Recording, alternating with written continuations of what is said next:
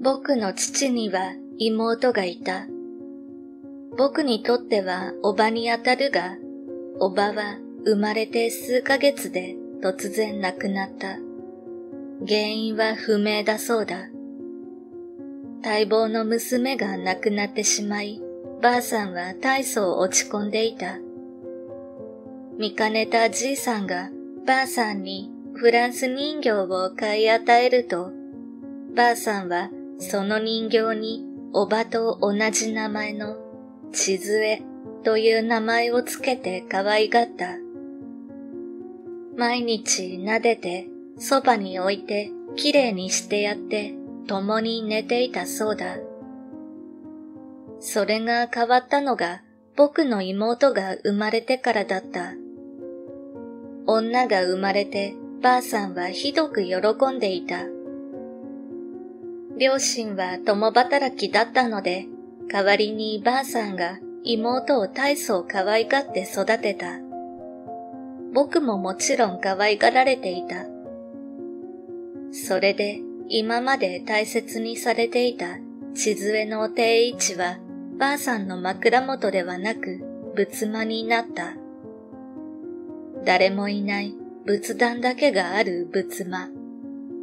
僕はよく先祖へ挨拶をしろと、毎日夕飯の前、おみきをあげにそこへ行かされていたものだ。暗くて寒くて不気味な部屋だった。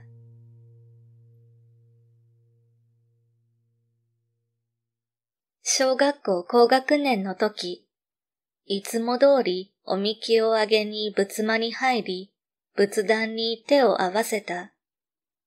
その時、誰かが後ろに立っているような気がした。振り返っても何もない。いつも通りピンクのドレスを着た地図絵が座っているだけだ。それがその時は妙に怖かったのと多感な時期だったのもあって、思わず僕は、なんだよ、文句あんのか？かかってこいよ。と地図絵を挑発した。バカだったと思う。今に戻って家族に地図絵に睨まれたと報告するとばあさんがものすごく怒った。後にも先にもばあさんがあんなに怒ったことはない。怒るばあさんに合わせるように父親も怒ってげんこつを食らった。その時は謝ってそれで終わり。問題が起きたのは数日後だった。休みの日だったか、まだ明るい時で、仏間も嫌に明るかった。昨晩下げ忘れたおみきを下げようと思って仏間に入ると、地図絵が定位置にいない。いつも置いてある棚から落ちて畳に転がっていた。なぜか手首が外れていた。僕に何かをしようとして這い出して動いたのかと変な妄想を膨らませて怒られるかもしれないと思ったが本気で怖かったのでそのことをばあさんに報告した。僕の尋常じゃない様子にばあさんも心配になったのか、一緒に今まで来てくれた。すると、地図絵は今度はちゃんと棚の上に座っていた。手首もついている。僕が嘘をついた感じになってしまったが、弁明しているとき父親が来て、ああ悪い、それ俺が落としたんだ。トイレに行ってから直したんだよ。と言った。勘違いして半泣きになっている僕を父親が笑って、ばあさんも今度は僕を慰めて事なきを得た。でもその日の夜、ばあさんが寝た後、父親が僕の部屋に来た。昼間のあの人形な、戻したのは俺だ。だけど落としてはない。お前、本当に嘘はついてないか？父親の話によると、僕が大きな音を立てながら仏間を出てくるのを見て、どうしたのかと仏間を覗いたら、地図絵が落ちていたのを発見。見つかるとまずいから、そっと直したということだった。ただおかしかったのは、手首なんて取れてなかったと父親が言ったことだ。地図絵はどうやって落ちて、どうやって手首がくっついたのか。僕は怖くて、おみきをあげる係をサボるようになった。おみきを持って出て、客まで2、3分待って、それから今へ戻る。多分半年ぐらいおみきをあげていなかった。その頃、妹が亡くなった。小学校に入って間もなくのことだった。死因は原因不明の高熱。突然熱が上がって入院してそれきりだった。僕はもしかしたら自分がおみきをサボっているせいじゃないかと思って、親にもおばあさんにも言えなかった。妹が死んだのは僕のせいだと思った。でも母親は妹が死んだのは地図絵のせいだと言い始めた。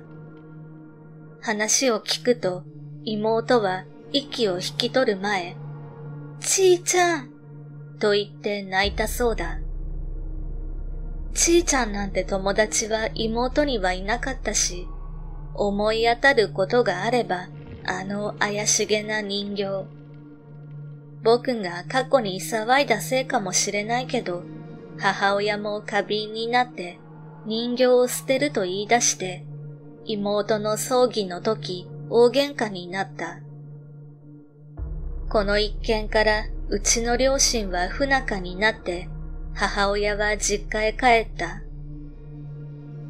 父は黙々と仕事をして、ばあさんは地図絵を抱きながら毎晩泣いていた。父親は仕事から帰ってこないし、ばあさんは泣いてばかりだし、このあたりから僕が家事をするようになった。次にばあさんのボケが始まった。今思えば当然だ。飯を食うか、部屋にこもって人形を抱きながらぼーっとして、泣いて、泣き疲れたら寝て。ご飯だよ、と呼びに行ったら何かを食べていたこともある。何食べてんの？と聞くと、ご飯を食べているという。え？っと思ってばあさんの顔を見ると、金色の糸が口から出ていた。ばあさんの手元には半分頭が剥げた地図絵。僕はこの時が一番怖かった。急いでばあさんから地図絵の髪の毛を吐き出させた。母親に相談しても、あんな人は知らないの？一点張り。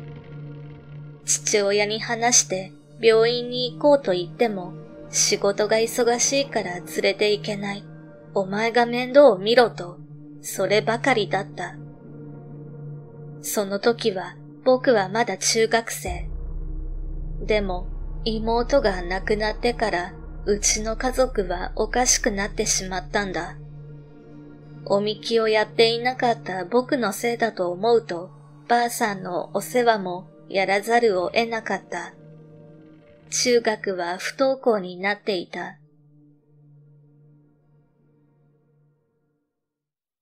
地図絵はばあさんの手でボロボロになっていた。髪の毛は引き抜かれ、服は脱がされ、切り刻まれ。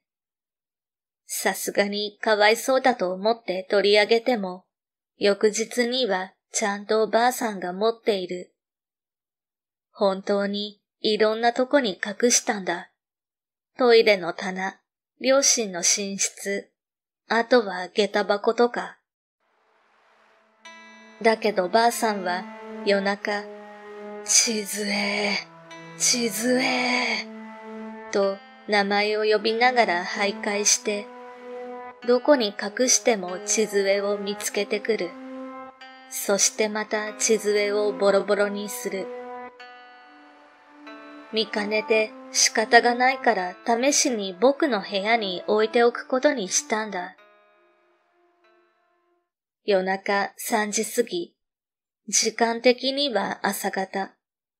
ばあさんが地図絵を探す声で目が覚めた。僕の部屋は2階だったので、足腰の弱いばあさんは登っては来れないし、ボケが始まってからは2階へ来たこともない。安心して地図絵をしまったクローゼットを見ると、クローゼットの扉が開いていた。寝る前には確かに閉めたんだ。だって目につくとこに置いておくのは気持ち悪かったから。夜中見なくて済むようにとクローゼットに入れたんだ。ビニールまでかけて。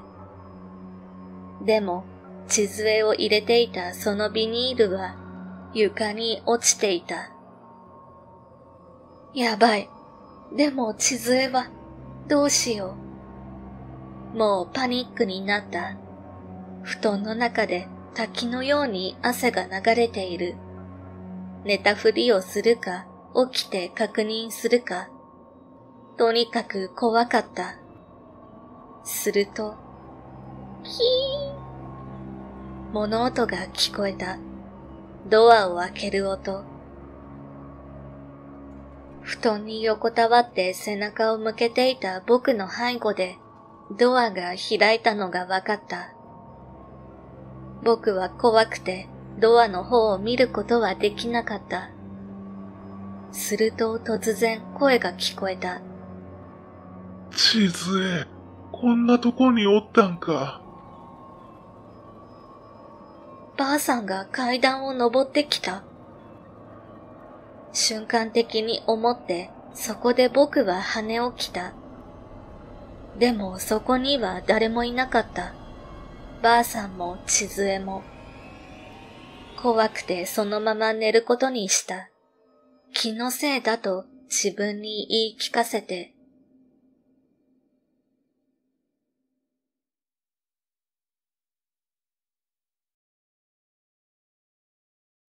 地図絵とばあさんはばあさんの部屋で死んでいた。翌朝僕が見つけた。ばあさんの死因は窒息死だった。ばあさんの喉には地図絵の髪の毛とちぎれた服、それから地図絵の目玉が入っていて、ばあさんは地図絵の頭に噛みつく格好で死んでいた。太陽の光が差し込む明るい部屋の中、ばあさんがそんな感じで生き絶えていた。幸せそうな顔ではなく、いかにも苦しみましたという感じ。目は血走っていて、失禁していて、片手に地図の胴体を強く握って、ばあさんのお葬式は簡易的なものだった。仮装の時、地図絵も一緒に燃やした。お墓にお骨を納める時、お墓の横の歴代の先祖の名前のところに、すでに地図絵と書いてあって変な感じがした。ここから僕の中で怖い話なんだけど、おばさんの地図絵さんの死因って実は原因不明ではなかったんだ。うちのばあさんが首を絞めて殺したらしい。なぜそんなことをしたのかはわからない。そういえば、父方の親戚付き合いがないなと思っていたら、ばあさんは絶縁されていたそうだ。これは葬式に来た親戚の話だった。なんで逮捕されなかったのかと聞いたらごまかされたので、おそらくもみ消したんだろう。ばあさんが亡くなって今年で4回忌。僕は高校に行ってない。何もしてない。ばあさんが亡くなってからずっとやる気が出ない。もう何もかもに疲れてしまった。今まで起きたこと、全部地図絵おばさんの呪いなら、今の僕の状態もそうなのかもしれない。地図絵おばさんは僕たち一族を絶やすつもりなのかもしれない。そう思うと笑うしかなかった。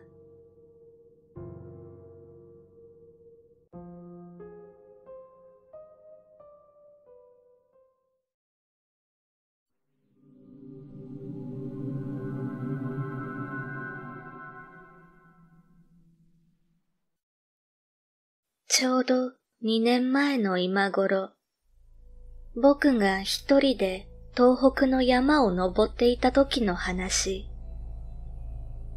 8時ぐらいに登り始めて、山頂には12時頃着いた。下りはどの山でも半分ぐらいの時間で降りるので、少し余裕があったし、地形図も持っていたので、コースの途中から半分は登山道とは別の尾根の獣道を下ってみることにした。この地方なら山菜を取るためにそういう人は結構いる。山菜やキノコの金賞になりそうな木を探しながら歩いているとき、水ならの倒木を見つけたので、近くまで行くと、水ならが根元からチェーンソーか何かで倒されていた。その時、30メートルぐらい先に、笹やぶの間から大きな穴のような黒い影が見えたので、好奇心でやぶをかき分けてその穴の方へ向かった。近くで見ると結構大きな洞窟で奥もだいぶ広そうだった。山用のヘッドライトもあったし、前に友達に連れられて洞窟に入った経験があるので、少しだけその洞窟に入ってみることにした。洞窟を発見するのは結構稀なことで、見つけた人がある程度は自由に名前をつけてもいいし、もし日本で新しく大きな洞窟が発見されれば全国的なニュースにもなるとの話を聞いていたのでかなり興奮していた。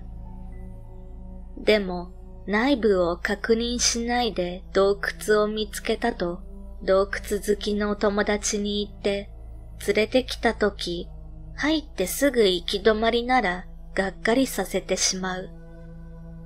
だから僕としては中の広さを確認しておきたかった。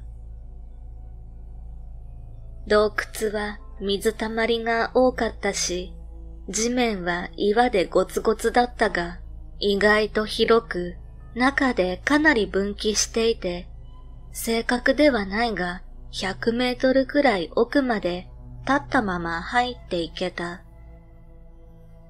通ってきた道は一番広く、別に迷うとは思わなかったけど、分岐のあるごとに戻って、山菜の本のページを破り捨てて目印にしていた。距離がどのぐらいかはわからないけど、入って20分ぐらいで、メインの道というか、一番広い道が行き止まりになった。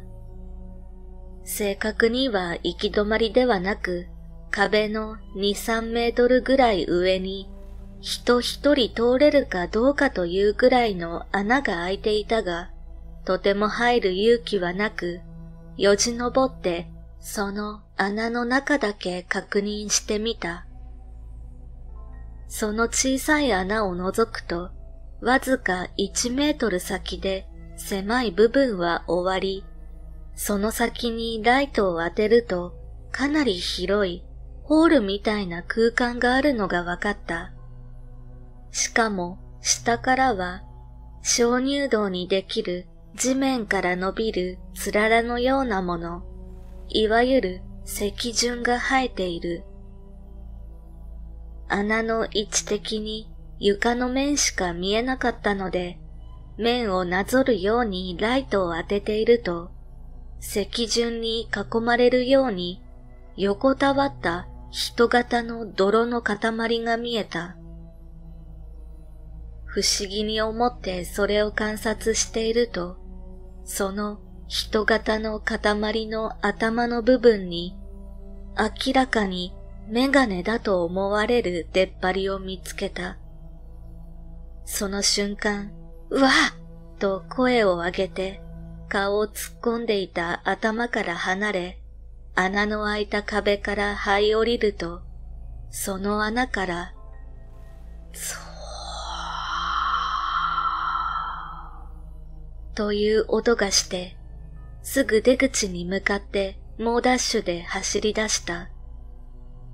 ゴツゴツした岩で何度もこけながら走った。恐怖で頭がいっぱいで足腰が全然言うことを聞かない。走り出して2分ぐらいで、ゾーという音に追いつかれた。音の正体はコウモリだった。さらに後ろから、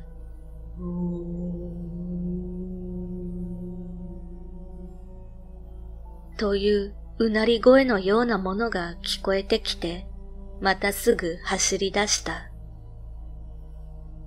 あのうなり声は間違いなく例の人型の泥だと思ったし、その音からはっきりとあの泥が洞窟を這いつくばってうなりながら追ってくる姿が想像できた。暗くてよく見えないが、もう膝は血だらけだと思った。天井付近をコウモリが飛ぶ中、ようやく出口が見えてきたが、日は落ちかけていた。そんなに長い時間入っていたつもりはなかった。すぐに洞窟から離れて、尾根を走って降りた。駐車場に着いた時には、もう夜7時半だったが、駐車場にはまだ人がいて、膝の怪我や足の痛みがピークで、下山してきたおじさんたちに助けを求め、車と僕を市内の病院まで運んでもらった。人がそこにいて本当に助かった。膝の怪我は思ったより深く、鋭い刃物で切ったような傷が今でも残っている。その日、洞窟好きの友人に連絡すると、深夜、洞窟クラブの人と一緒にうちにやってきた。一人でいたくなかったので、ずっと彼らと話をしていたが、そのクラブの人と話して少し落ち着くことができた。その人曰く、洞窟でのうなり声はおそらくコウモリの羽の音が反響して出たものであること。人型の泥の塊は洞窟ではよくある。というか人間は条件反射的に似た形を見つけてしまうということ。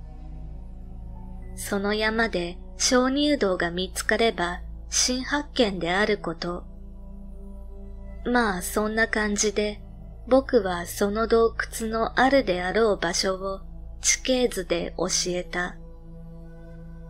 後日、そのクラブの人たちから一緒に探索しないかと誘われたが、何を聞かされてもさすがにもう一度行く勇気はないし、他の登山客に迷惑をかけてしまっている手前、包帯の取れない状態で行くのもどうかと思って断った。洞窟クラブの人はその後何度か探索に行ったようだが、僕が教えたその周辺を何度探しても洞窟は見つからなかった。その人たちが探しに行く前には電話があって何度も場所を確認されたし見つけられず帰ってきてから何回かうちに来て本当にその場所かどうか思い出してくれと言いに来たしついてきてくれとも言われた。彼らにしてみたら、鍾乳洞の新発見は相当大きなことなんだろうとは思ったが、やっぱり僕はそこには行きたくなかった。そうして去年、どうしても見つけられないし、僕が幻覚を見ていたんじゃないかという話にも発展していた。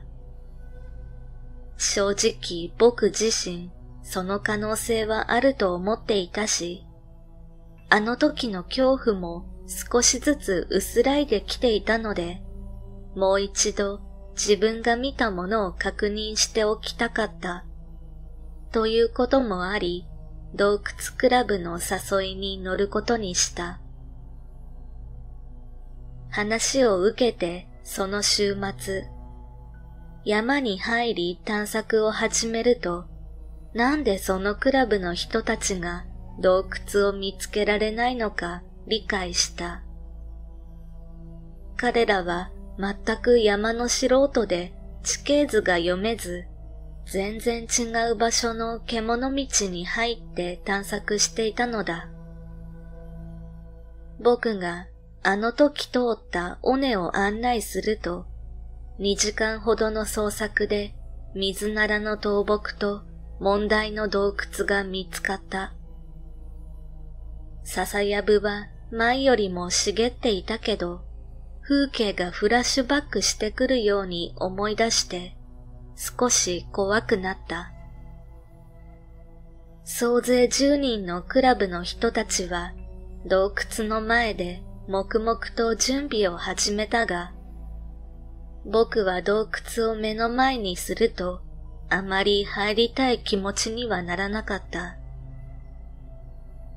いくら偶然だと言われても、あの人型の泥は僕にとってはリアルすぎたし、口では説明できない異様な雰囲気をあの時確かに感じていた。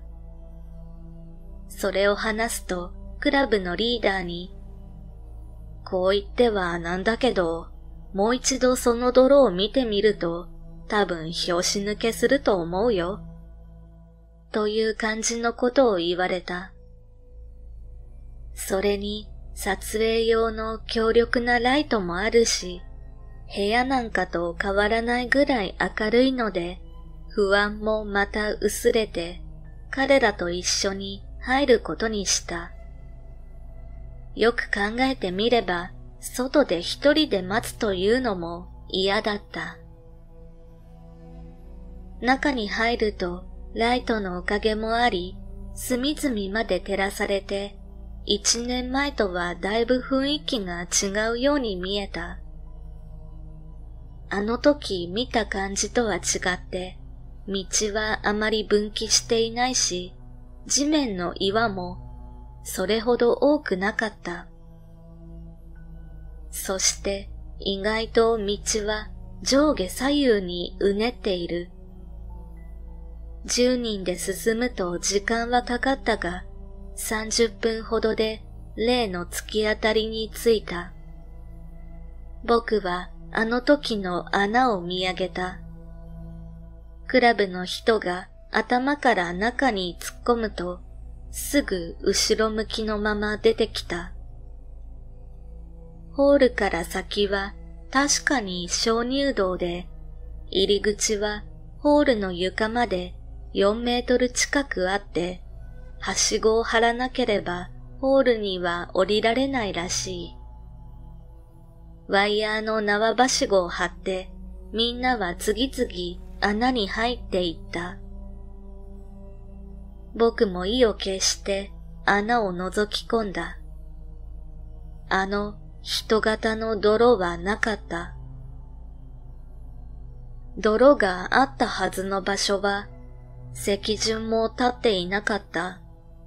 それどころか石順は、このホールの入り口に向かう道を作るように折れている。僕は穴から出て、皇族の人にお願いして、もう出たいと訴え、洞窟から一緒に出てもらった。一緒に出てくれた人は、おそらく過去に何回か人が入って石順が折られたり、ホールの内部も荒らされているのかもしれない。と言っていたけど、僕にはそうは思えなかった。理屈では確かに水ならの木を切った人はあの洞窟を見つけていると思うし、その人が何度か洞窟に入っていたとしても不思議ではない。で、最近なんだけど、クラブの人から連絡があった。僕が最初入った時、目印にしていた山菜の本の切れ端がいくつも見つかったとのこと。それらは全部洞窟のホールの奥に束になって置いてあったそうだ。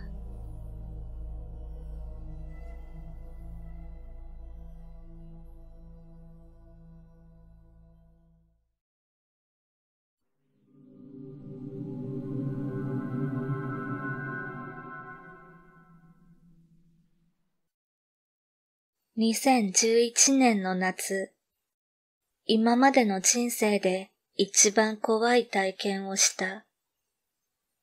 最初は誰かに話すなんて考えられなかったけど、だいぶ落ち着いてきたのでお話ししようと思う。自分の家は中国地方の山奥の田舎にある。僕はそこでちょっとした自然愛護のクラブに所属していて、イベントを企画したり参加したりしていた。家から車で20分ほどのところに、〇〇さんと呼ばれる山があるんだけど、主にその山を舞台にして、クラブのメンバーで登山やキャンプなどをしていた。その〇〇さんで近々一般の参加者を募って、クラブのメンバーで山のガイドをしようという企画が持ち上がった。〇〇さんの魅力と自然の美しさをもっと地元の人に知ってほしいというのが発端。僕はその企画に賛同し、イベントの下準備などを受け持つことになった。僕の担当は必要な道具などの準備とガイドをする場所の選定。何度も登った山だけに案内はほぼ熟知しているが、やはり一度山に入って実際歩きながら考えようと、休日に一人で〇〇さんへ向かうことにした。その日は良い天気で絶好の登山日和だった。僕はデジカメを片手に要所要所でガイドのパンフで使う写真を撮りながら純粋に登山を楽しんでいた。そうして目的の地点まで半分あたりに来た頃、湧き水の出る休憩所で一休みしていると、少しだけ天気が陰ってきた。帰ろうかと思ったが、イベント当日ではもっと上の方まで上がる予定だ。もう少し歩いて天気が荒れそうなら引き上げよう、と荷物を持ち直す。すると、うーん、うーん。ん？何か聞こえた。人の声みたいだったけれど、と周りを見渡す。自分が歩いているのはちゃんとした登山コースだ。別に人と遭遇しても何もおかしくはないが、前にも後ろにも人影はない。風の音が人の声のように聞こえただけか、と思い直して歩き出すと、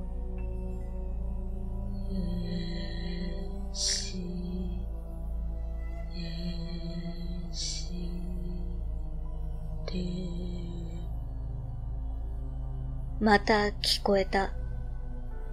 聞こえてきた方はコースからは外れた藪の中からだった。男とも女ともつかないが、か細く弱々しい感じの声。誰かいるんですか？もしかして怪我でもした登山客がいるのかと思い、声を張り上げた。だが返事がない。少しためらった後、藪の中へ向かってみることにした。気のせいならそれでいい。けれど、もし助けを求める人の声だったらと思うと、確認せずにはいられなかった。誰かいるか？声を上げながら進んでいく。藪は小柄な人ならすっぽり隠れてしまうほど高く、もし人が倒れていたら発見は困難だろう。藪をかき分けながら注意深く周りを確認して進んでいくと、唐突に開けた場所に出た。そこは自分でも初めて見る場所だった。あれだけ密集していた藪が急になくなって、湿った土の地面にポツポツと木が等間隔で生えている場所。それらの木にはしめ縄のようなものがついており、その木々に囲まれるように朽ち果てた木造の小屋のようなものがポツンと立っている。それはどこの家にもある物置小屋のように見えた。僕はしばらく言葉を失い、突っ立っていたが、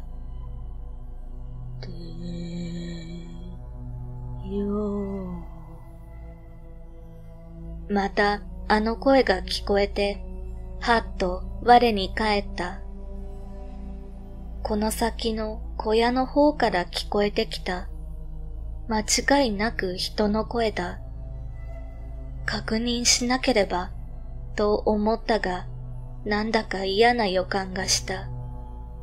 まず、ここは何だろう。こんな場所、僕は知らない。今まで何度もこの山に登ったが、こんな場所があるなんて聞いたこともなかった。周りの木々で光が遮られているため薄暗く、どうにも不気味な感じがする。で、よ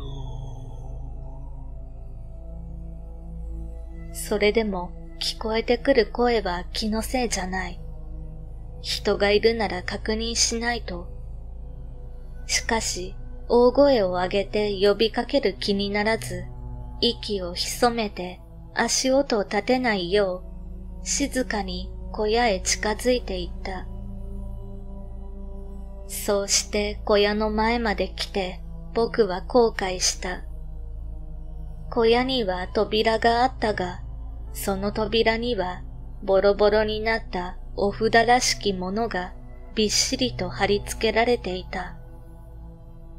元は白かったのだろうが、遠目には茶色っぽく汚れていたそのお札が扉の色に溶け込んで見えなかったのだ。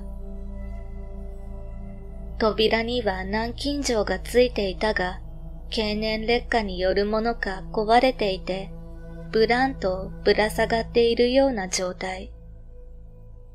そのせいで扉は少し開いていて、隙間ができている。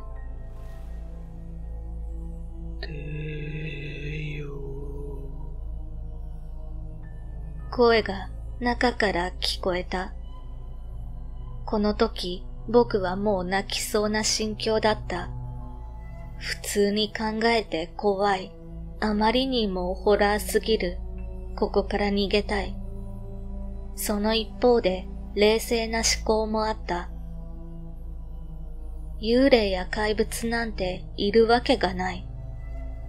不老者の類かもしれないが、山で迷ったか、怪我でもした登山客が一時しのぎの場としてここを使っているとしたら、そう、やはり確認ぐらいはした方がいいんじゃないか？どのぐらい迷ったか、僕は後者の思考に従った。扉に手をかける。クイッと押すと、メキメキっと、埃をボロボロ落としながら扉が開いた。中を覗き込むと人がいた。こちらに背を向けて部屋の中心に立っている女だ。着物なのだろうが、まるでボロボロの白い布切れをまとったような服装で、頭はボサボサ、腰あたりまで伸びた白髪混じりの黒髪。破れた着物の隙間から見える手足は恐ろしいほど痩せ細っていた。その足元には何かの動物の死骸が転がっていた。まだ新しいのか流れた血が床を濡らしている。でかよその女性は何かボソボソつぶやいていた。歌だろうか？聞き取れないが一定のテンポを感じる。ああ、これダメだ。現実離れした光景を見ながら僕は妙に冷静にそう思った。見てはいけないものを見た。関わってはならないものだ。逃げよう。僕が一歩後ずさると、女がぐらっと揺れて、顔を左右に振り始めた。ブルブル、ブルブル、ブルブルブルブルブルブル。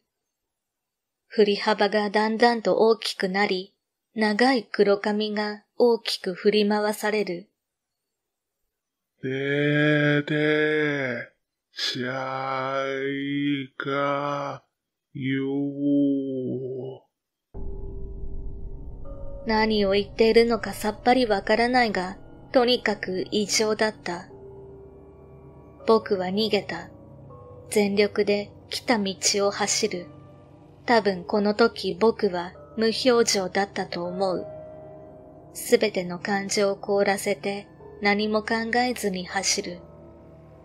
少しでも何か考えれば、悲鳴一つ上げてしまえば、正気と強行の拮抗が崩壊してしまうと思った。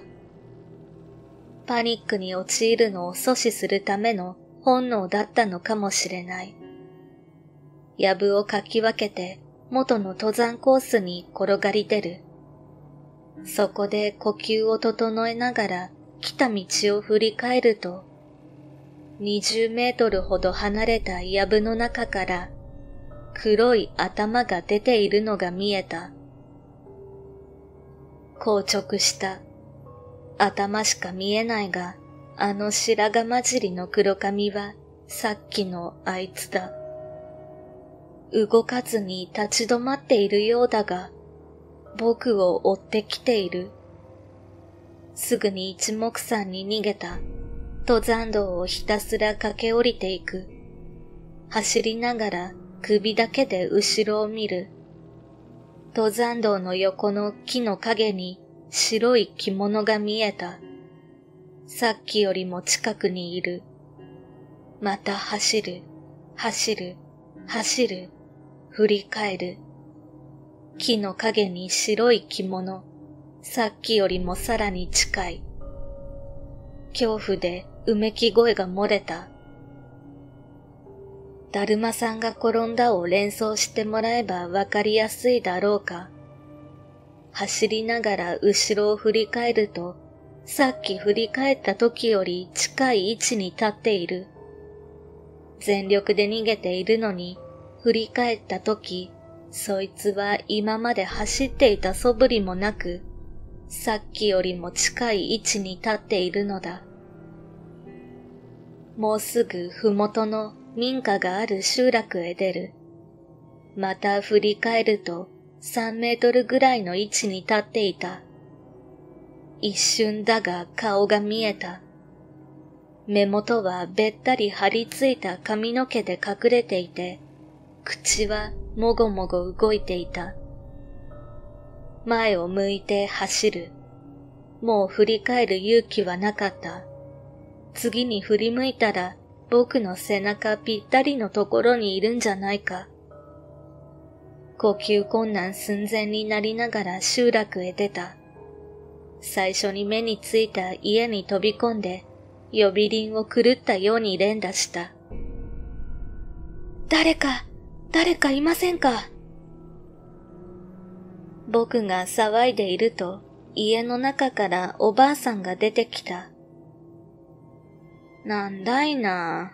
どうかしたのか？僕の様子を見て驚くおばあさん。そりゃそうだろう。いきなり大の男が息を切らしてやってきたのだから。すいません。あの、僕の後ろ、なんかいませんか？なんもありゃせんがな。言われて恐る恐る振り向くと、確かにあの女の姿はなかった。これが僕の体験。クラブの仲間に相談しようかと思ったが、誰かに話すというか、口にするのも怖くてやめておいた。予定していた〇〇さんでのイベントも当然僕は参加を拒否した。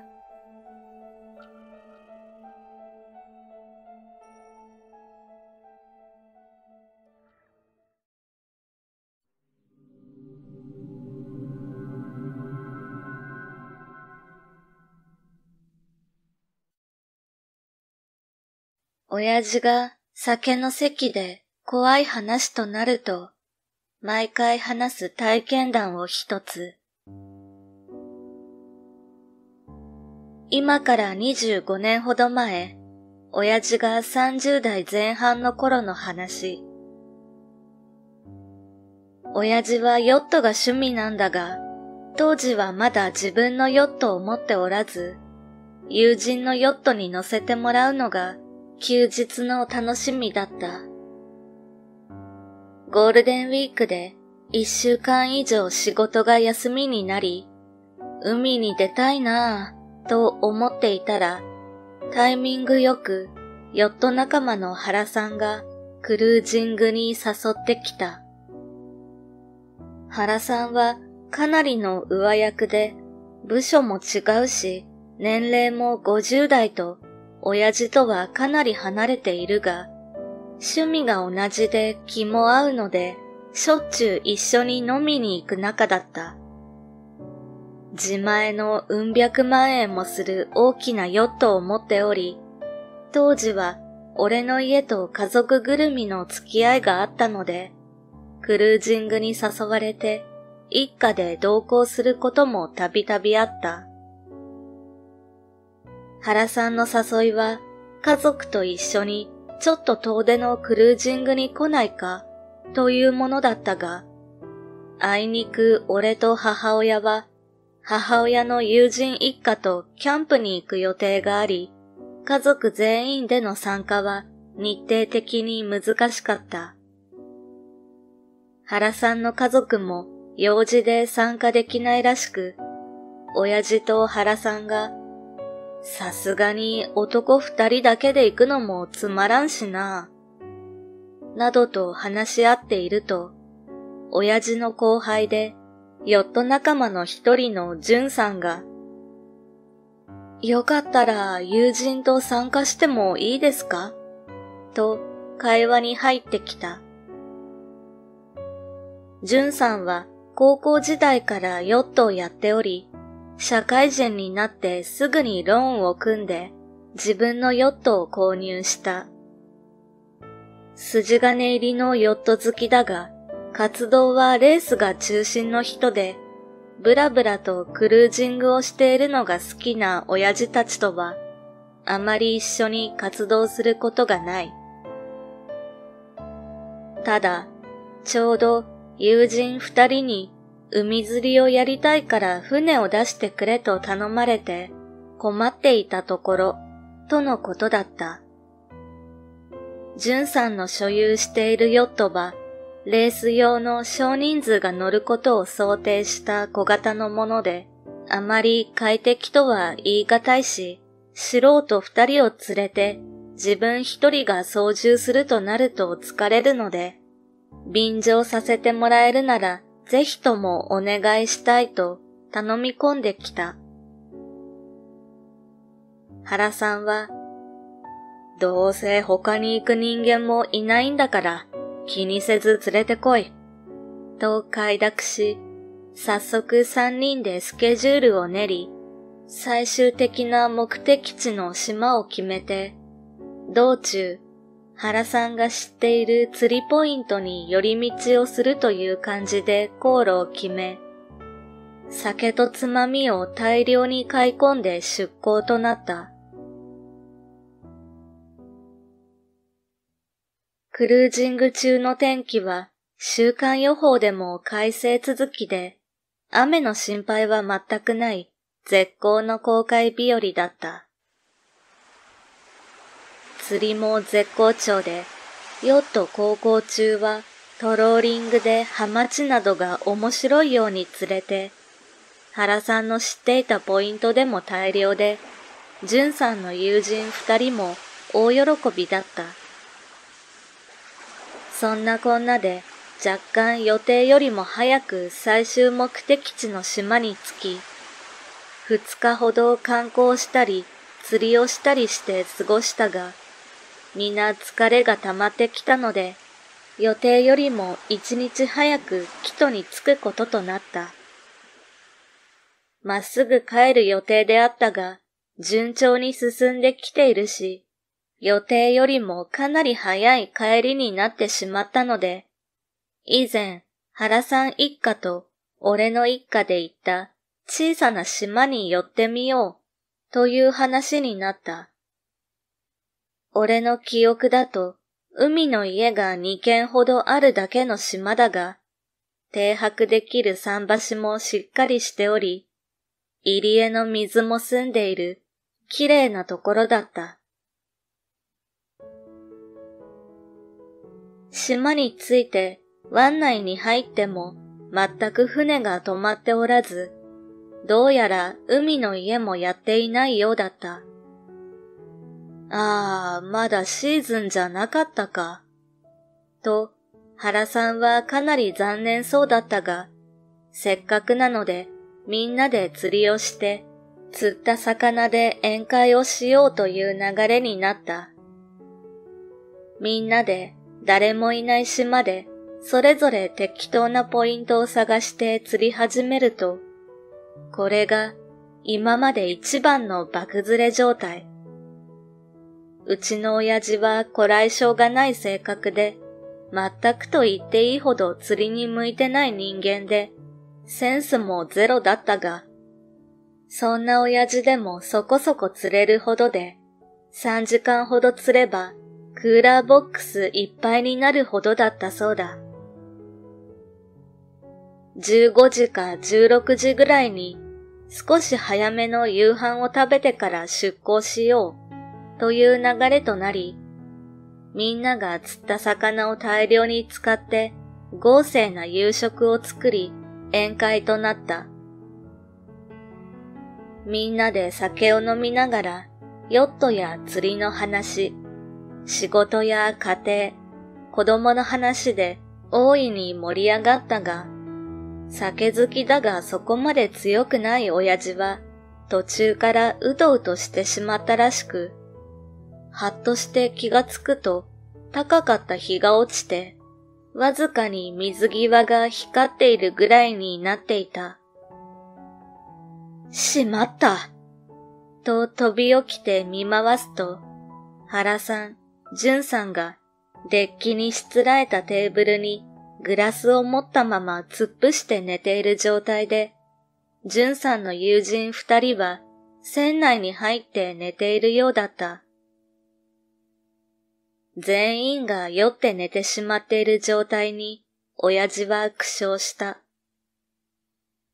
とりあえず原さんと淳さんを起こして帰り支度をするか、と思い、立ち上がって寝ている二人を揺り起こそうとしたとき、ヨットの船尾からバシャ、バシャバシャ、と派手な水しぶきが上がった。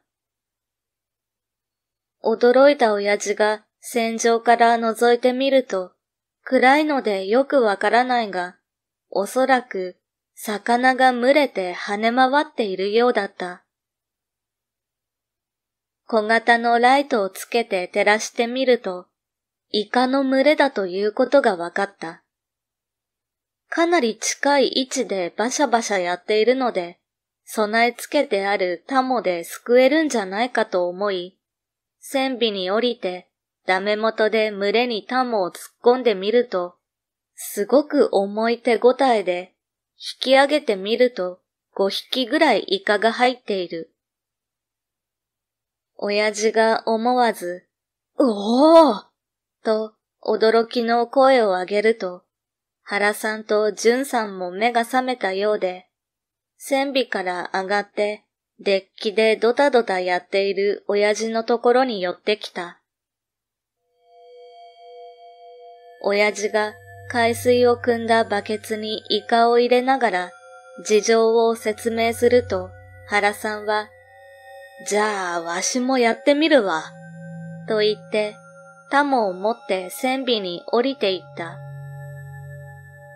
親父と淳さんが、アオリイカかななどとイカについて喋っていると、ドボーンと大きな水音がした。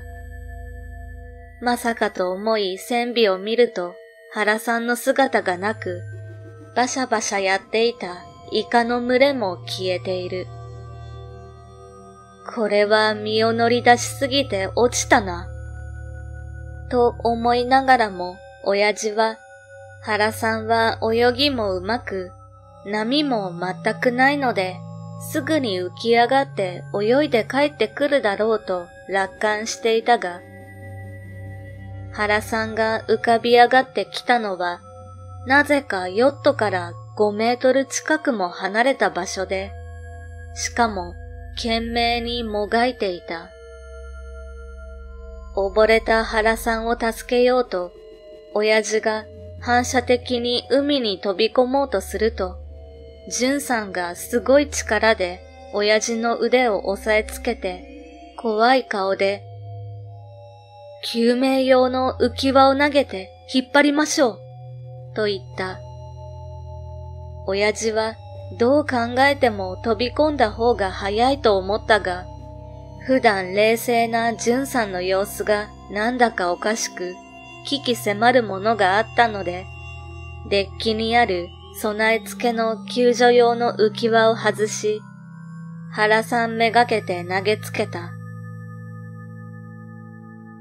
うまく近くに着水した浮き輪を原さんが掴んだのを確認して、親父と淳さんは浮き輪に結びつけてあるロープを引っ張ったが、原さんがこちらに向かって泳いでいるのに、何かに流されているようで、なかなか思うように引き上げられない。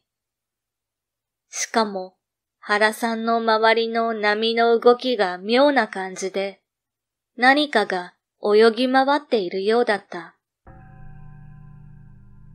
じゅんさんは引っ張りながら大声でヨットの中で寝ている友人二人を呼び、起きたばかりで状況もいまいちわかってないながらも、友人二人は親父と淳さんの作業を手伝ってくれて、大の男4人がかりで、なんとか引き上げに成功した。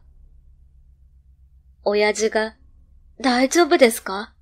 と原さんに呼びかけると、肩で息をしていた原さんが、出すぞと周囲に響き渡るような大声を上げた。それが合図になったのか、じゅんさんはものすごい勢いで渓流ロープを外し、ほぼ同時に原さんがエンジンをかけて、普段の原さんからは想像もできない荒い操縦で、ヨットは桟橋から離れた。親父には原さんを引き上げたあたりからずっと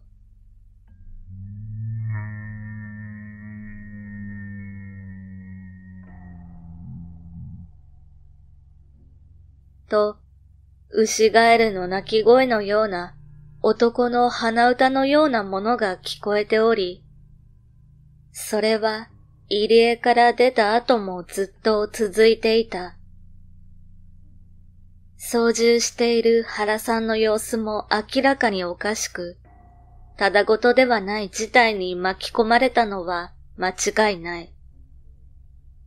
原さんに何があったのか問いただそうとすると、じゅんさんが、やばい、追ってきてます。と、震えながら言った。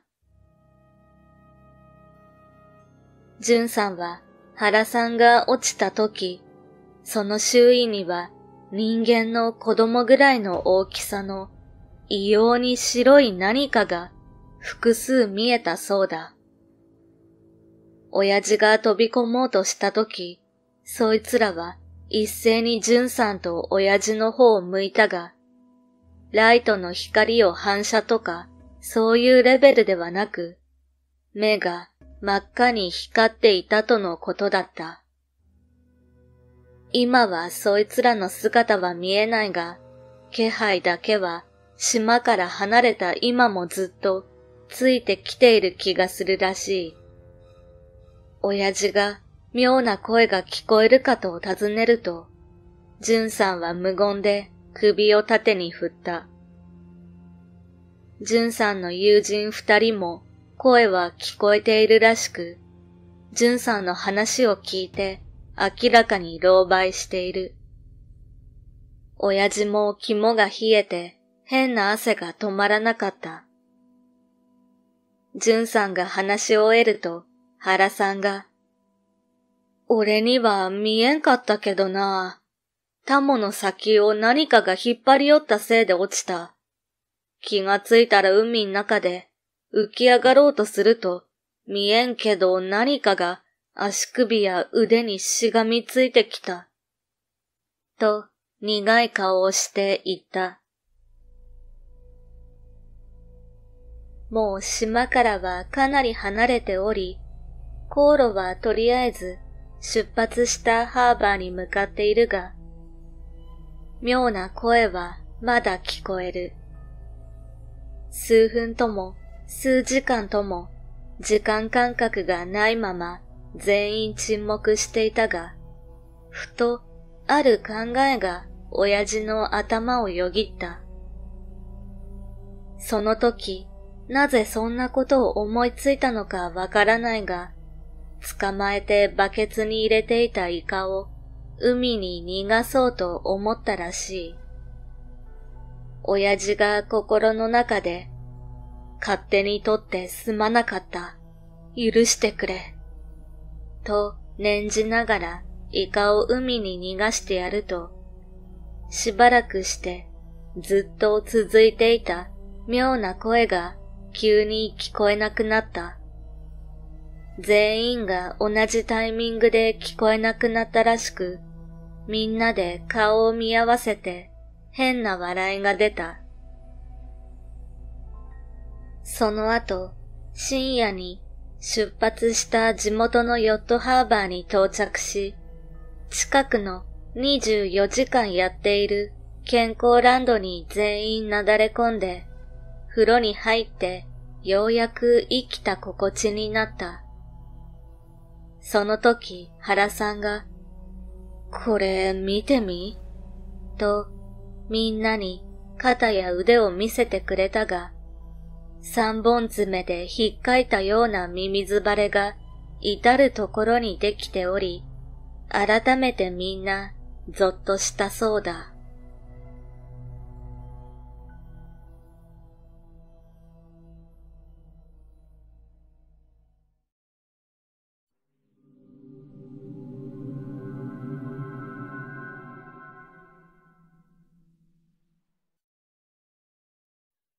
実はなので、人に話して怖いかどうかわからないけど、お話しします。昔、俺はよく友達とゲームしていた。俺と友達はお互いそのゲームに当時はハマっていた。当時、ほとんど毎週末、俺は友達のアパートに行き、徹夜なんか当たり前でゲームをやっていた。一旦ゲームを始めると、それ以外のことをするのが面倒なので、俺は友達のアパートに行く前に、必ずコンビニで大量のお菓子とジュースを買って、そうやってゲームをしていたんだが、ある週末、いつものように遊んでいると、二日目の徹夜に突入した時、ジュースが切れてしまった。コンビニまで行くのも面倒だから、友達が、下まで降りて自販機でジュース買ってくるわ、と言ってくれた。友達の部屋は3階だったんだが、1階まで降りると道沿いにすぐ自動販売機があった。俺も、おお、ありがとう。お前が戻ってくるまでに自分の番終わらせとくわ。と言った。それでゲームをしながら一人で待っていたんだけど、20分経っても30分経っても友達は一向に戻ってこなかった。時計を見ると午前2時半だった。俺は少し嫌な予感がしたけど、まあ気が変わってコンビニまで行ったのかなくらいにしか思っていなかった。すると、その友達から携帯で電話がかかってきた。俺が電話に出てみると、友達は電話の向こうでえらく息が上がっている。何かに怯えていたような感じだった。俺が、どうしたの？今どこ？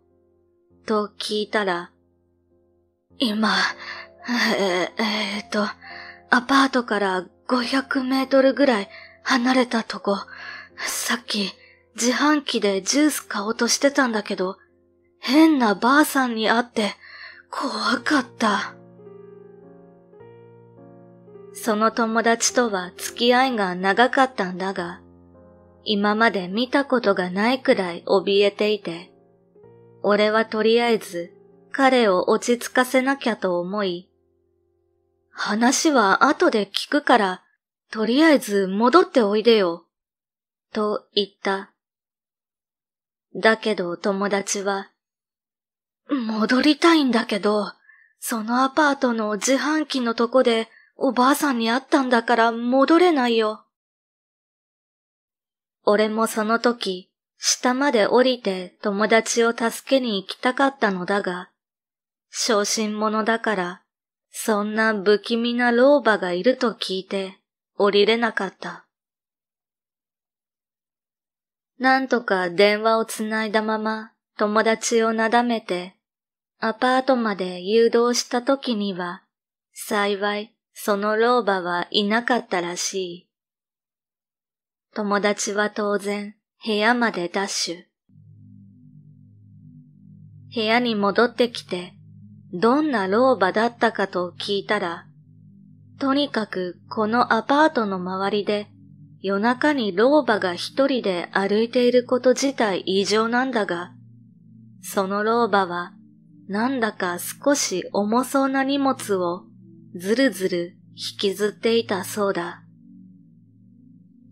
その姿を友達は気味悪く感じながらも無視しながら我慢して、早く通り過ぎてくれ、と思っていたのだそうだ。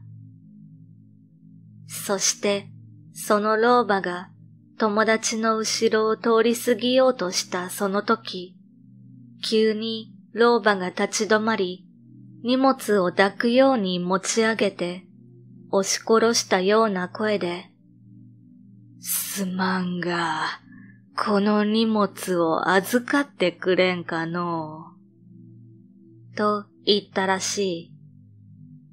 友達はそこで耐えられなくなって、その場から逃げ出した。それから二人で、その荷物の中身は何だったんだろうな。赤ん坊とかバラバラにされた遺体の一部だったら怖いな。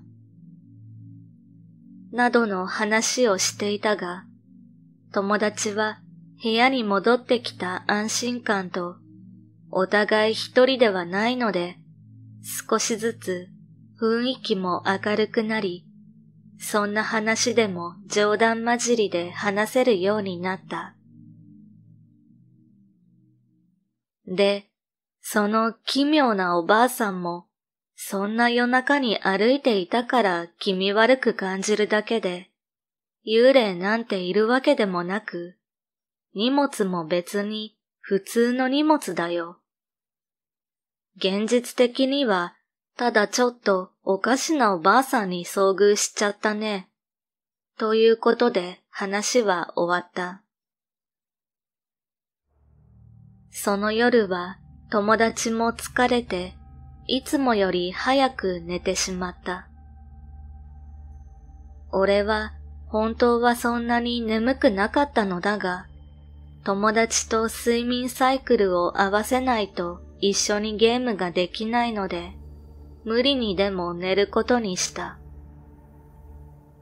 いつものように友達はベッドに寝て、俺は床で適当に寝た。睡眠時間はどうせ短めにしか取らないから床でも構わない。しかし、俺は眠くなかったので、その夜は横にはなったもののなかなか寝つけなかった。どのぐらい時間が過ぎたかよくわからなかったが、静まり返った部屋の外でエレベーターの動く音が聞こえた。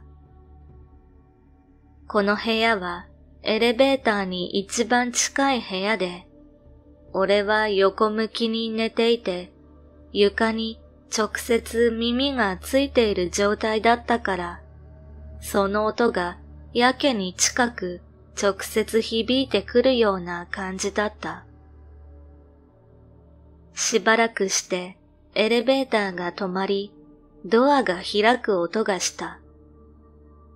どうやらこの部屋のある3階に誰かが降りたようだった。今は多分もう夜中の4時を回っているくらいの時間のはずだ。この階の住人でそんなに遅い時間に帰ってくる人がいたのかと、俺は少し変に思った。すると、エレベーターはまた降りて行き、それから、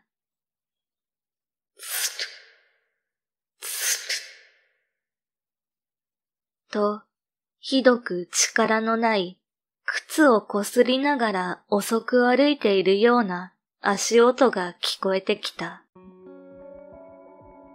その足音が耳を床につけている俺には直接伝わってくる。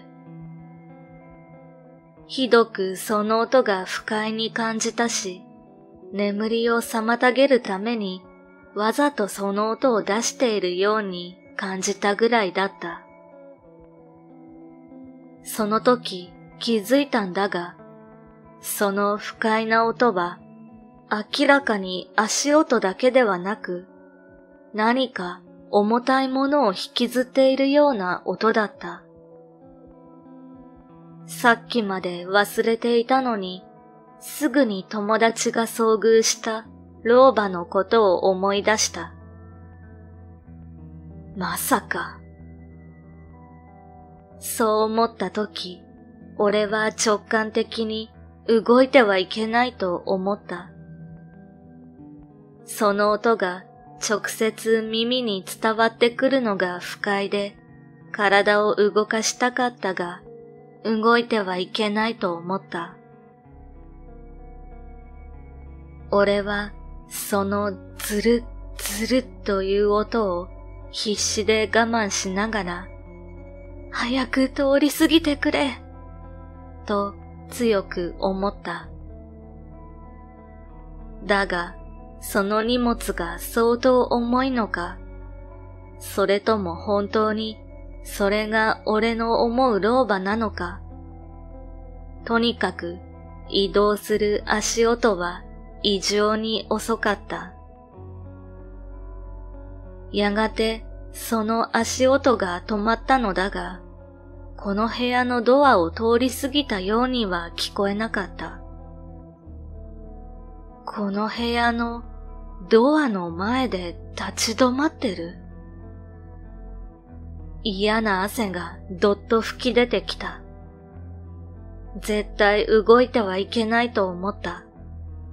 友達に話しかけたかったが、友達からは寝息が聞こえた。本当に熟睡していたようだった。この部屋の作りは少し変わっていて、一般的なアパートの部屋とは違っていた。ドアを開けると、いきなり横長のリビングの部屋があり、集金などで見知らぬ人が訪ねてきても、ドアを開けるとすぐに部屋全体が見える感じ。つまりその時、ドアの向こう側に立ち止まっていた得体の知れない奴と、横になっていた俺の距離は、ドアを隔てているとはいえ、実質3メートルぐらいしか離れていなかった。絶対に見られてる。俺は必死に息を殺した。早くこの部屋の前から去ってほしいと思った。ものすごく長く続いた静寂の後、その足音は再び、つる、つるっと何かを引きずりながら、さらに奥の隣の部屋に行った。俺はほっとしたが、その後、その隣の部屋の前でそいつは、ガチャガチャ、ガチャガチャガチャ、とドアを強引に開けようとしたんだ。もうそいつがこの階の住人でないことははっきりと分かった。しかし、ドアを強引に開けようとしていることから、そいつが幽霊とか、そんな類のものではないようにだけは感じた。もうそれが分かっただけでいいから、俺はとにかく、この最悪な時間が早く終わるように寝てしまいたかった。そして、そいつもその部屋を諦めて、さらに奥の隣の部屋に向かって行ったことが足音で分かったので、俺は極力息を殺しながら、そっと体の向きを変えた。床から耳を離し、その足音自体遠のいていったので、ほとんど足音は聞こえなくなった。そこで、やっと少しうとうとしてきて眠れそうになってきた。すると、つる、つる。また足音が戻ってきた。もう本当に勘弁してほしかった。しかし、今度は隣の部屋などは、その足音は素通りだった。この部屋も素通りしてくれることを期待したんだが、やはり、その足音は、再びこの部屋のドアの前で止まってしまった。カチャ、カチャ、カチャ。ドアを開けようとしている。体が硬直した。だがその時、友達がその音を不快に感じたのか、うーん、と寝ぼけながら寝返りを打った。俺が目を開けて友達の方に視線を送ると、カーテンからうっすら日の光が見えた。少し夜が明けてきていたようだ。俺が気がつくと、すでにドアの音も足音もしなくて、ドアの向こう側に気配も感じなかった。俺が気づかないうちに、あいつはエレベーターで降りていったのか、わからない。その後、友達はあの夜の老婆の話もしないし、明るく忘れているようだった。だから、俺もあえて、俺があの夜体験したことを話していない。現在は仕事上の理由で友達もそのアパートから引っ越している。でも、俺はたまにあの夜のことを思い出す。友達も口には出さないが、俺と同じだと思う。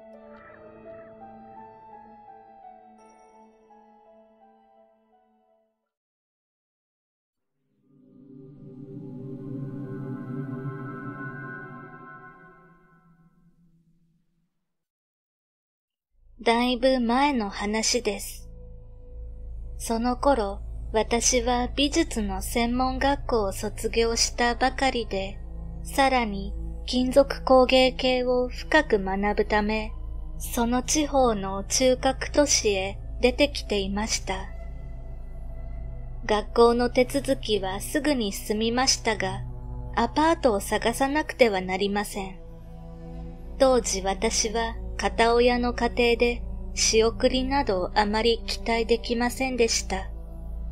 専門学校もアルバイトをしながら卒業したぐらいでしたので、あちこちの不動産屋を回り、少しでも条件が良く、家賃の安い物件を探していました。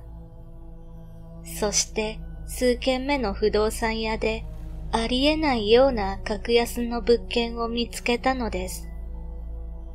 それはアパートではなく、一階建ての一部屋で、隣に住む大家さんが自分の家の庭に離れとして建てたものでした。そして、家賃はちょっと考えられないほど安かったのです。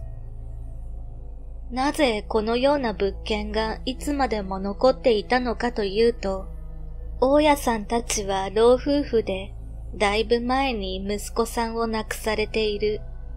その思い出がやっと薄らいできたので、息子さんが使っていた離れを人に貸そうという気持ちになった。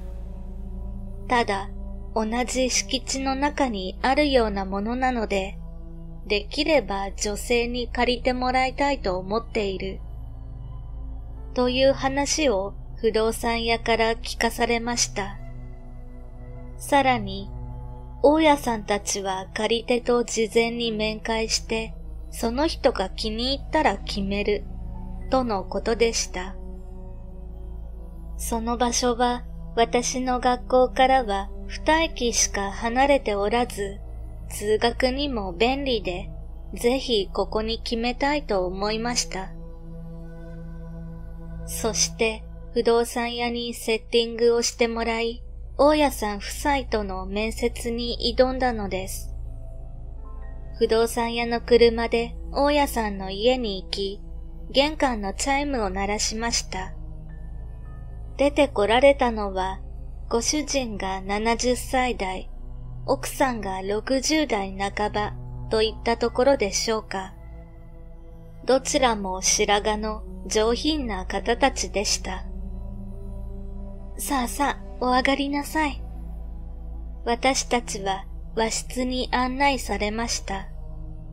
そこは裏の山側に面した上品な一部屋でしたが、床の間に他の調度にそぐわない鷹の剥製があり、鋭い目を光らせているのが少し異様に感じられました。そうして私は学校のことや将来の夢など、ご主人に問われるまま語りました。奥さんの方は常にニコニコ微笑んでおられるだけでした。ただ、私が出身地の県のことを話したとき、奥さんは、これは、というような顔をして、ご主人と目配せしたのを覚えています。ご主人は話の最後に、これは良いお嬢さんだ。どうだね、母さん。この子に決めようじゃないか。ええ、それがよろしゅうございますね。と言ってくれました。こうして私は夫妻の家の離れに住むことになったのです。そして帰る前に離れの部屋を見せていただきました。そこは夫妻の家から10メートルばかり離れた庭の中にあり、外観はまだ新しいものでした。ここはもともとは息子が動物を飼育するための小屋として使っていた場所で、一人息子が死んでから今年でちょうど10年になる。それで私たちもいつまでも悔やんでいても仕方ないと、ここを建て替えて、人に貸すことにしたんだよ。あなたのようなお嬢さんに住んでもらうことになってよかった。と、ご主人が言いました。本当に、息子は生き物の好きな子でしてね。と、奥さんも言いました。それを、これ、とご主人がたしなめ、あなたが都合の良い時に引っ越してきてください。いつでも構わんよ。とおっしゃってくれました。私がお愛想のつもりで息子さんの仕事について尋ねますと、ご夫妻は顔を見合わせていましたが、ご主人が、なに、私の後を継いで職人をしていたんです。あなたも工芸をおやりになるそうで、息子が生きていたら気があったかもしれませんな。と答えられました。部屋は六畳の一間に台所、バストイレと普通のアパートと違いはありませんでした。ただ、建物の外観に比べて内部が狭すぎるように思われました。しかしそれは壁などを厚くして丁寧に作っているせいだと解釈することにしました。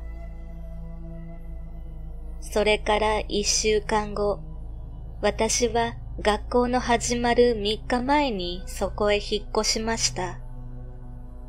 荷物は布団や小型冷蔵庫など最小限だったので、引っ越しにはさほど時間はかかりませんでした。その時は私の母も一緒でしたが、大家さん夫妻は満面の笑みで出迎えてくれて、何か不都合なことがあったらいつでも言ってきなさい。これはこの地方で取れる吹きの煮物だよ。と、奥さんからはお料理までいただきました。冷蔵庫の中身はまだ買っていなかったので、ありがたく思いました。母は翌日も仕事があるためすぐに帰り、スーパーも近くにあったので、とりあえず買い物をして、荷物の整理をしているうちに、早くも日暮れとなりました。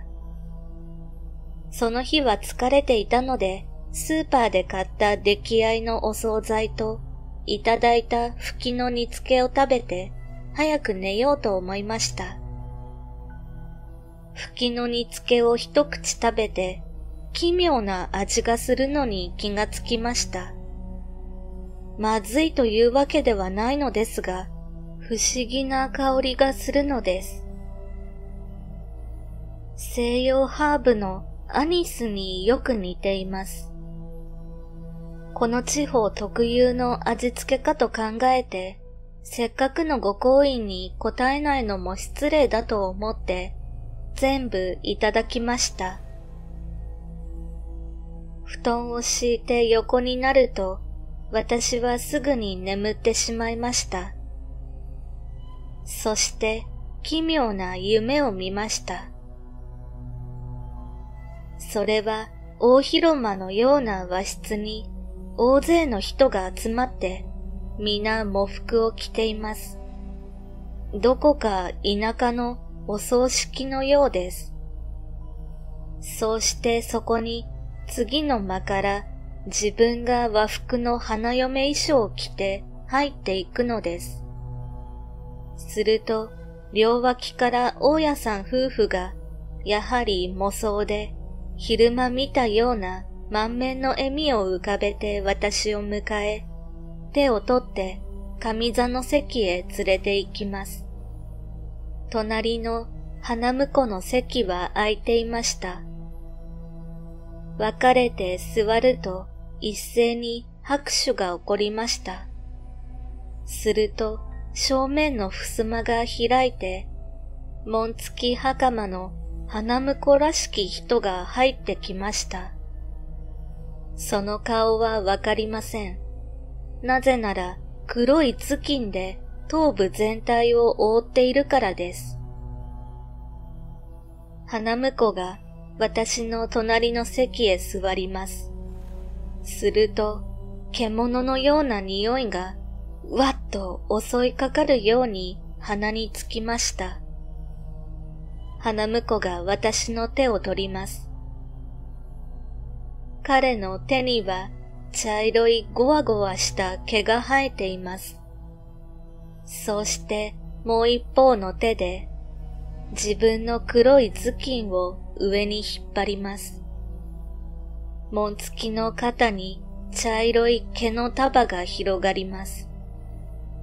頭巾をすっかり取ってしまうと、そこにあるのは何とも種類の判別しない動物の頭です。しかも両目がありません。私は絶叫しました。そして目が覚めました。枕元の時計を見ると、まだ2時過ぎです。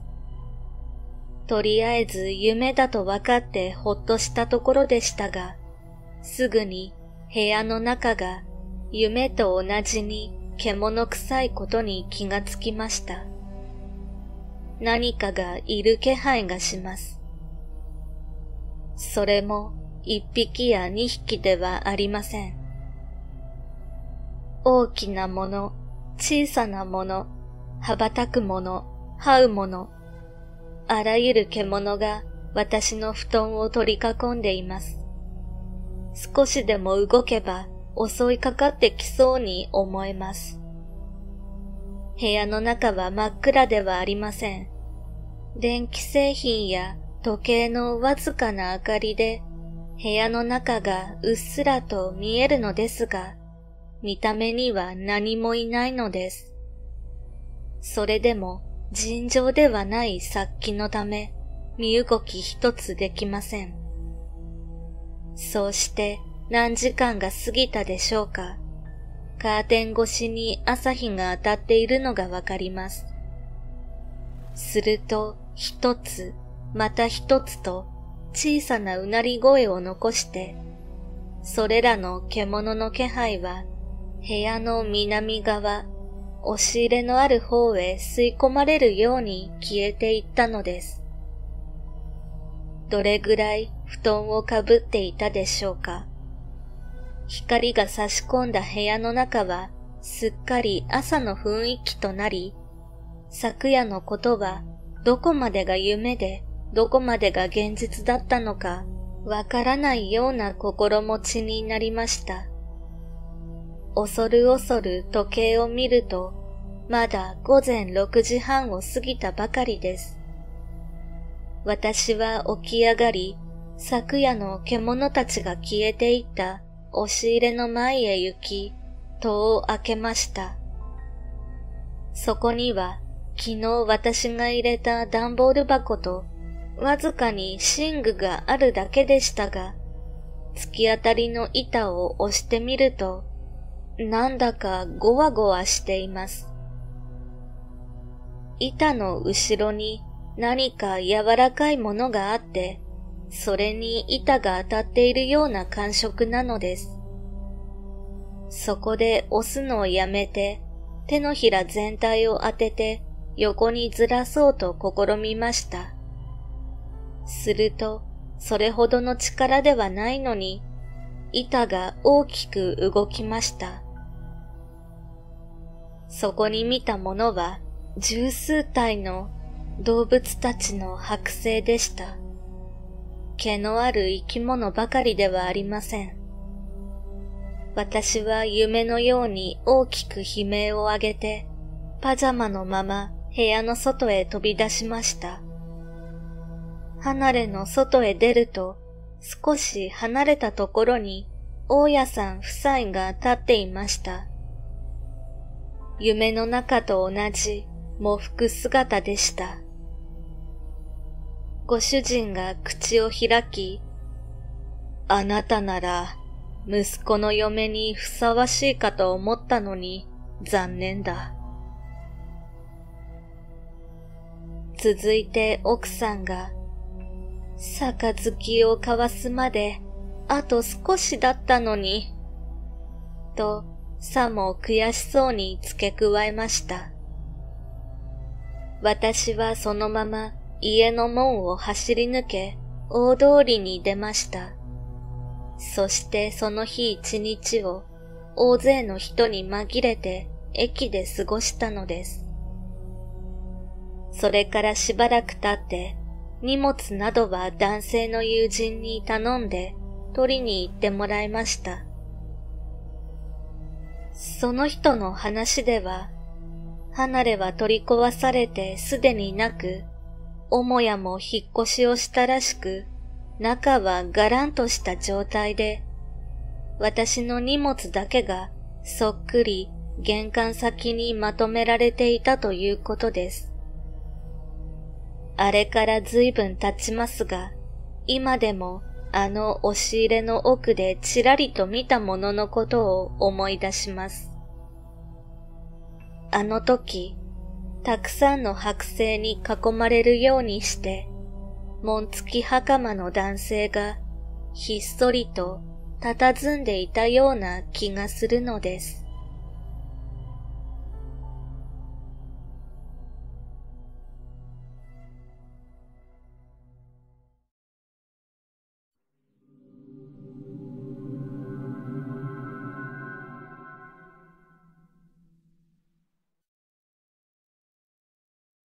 私が通っていた高校は数年前に改築され、今では近代的な姿に変貌を遂げているが、私たちが在学中は、どこもかしこも古めかしい学校だった。歴史だけは県下有数というこの学校に、昔からひっそりと語り継がれているという。ある怪談話の伝説があった。それは通称、牛の墓の話という名前なのだが、タイトルだけ聞くと、怖い話でおなじみの牛の首を思い浮かべる人もあるかと思う。私もネットで怖い話を覗くようになったのはごく最近なのだが、私の学校に伝わっていた牛の墓の話というのは、一般的にはいわゆる牛の首系の怪談話でメジャーな展開でもある。あまりに恐ろしすぎて誰も話すことができないという系統の語られ方をされていたのも不思議と共通していた。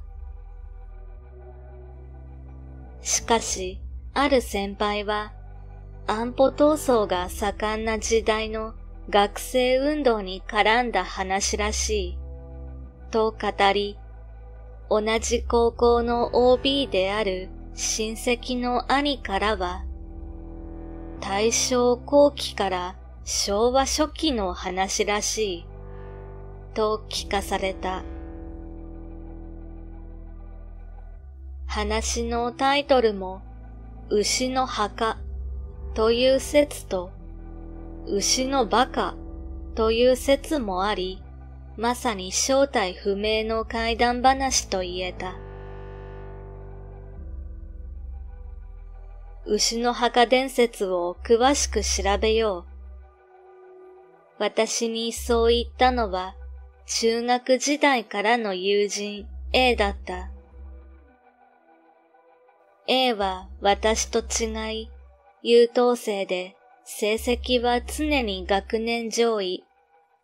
だが、中学の頃からオカルトやらファンタジーにかなり傾倒しており、この話ももともとは A が定年間際の教師から聞いてきたものがそもそもの始まりなのだ。